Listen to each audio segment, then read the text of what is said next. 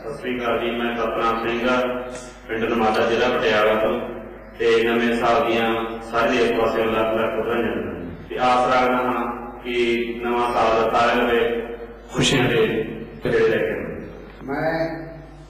ਸਰਕਾਰ ਨੂੰ ਬੇਨਤੀ ਕਰਦਾ ਹਾਂ ਕਿ ਉਹ ਪਿੰਡ ਦੇ ਪੜ੍ਹੇ ਲਿਖੇ ਨੌਜਵਾਨਾਂ ਨੂੰ ਰੋਜ਼ਗਾਰ ਦੇਣ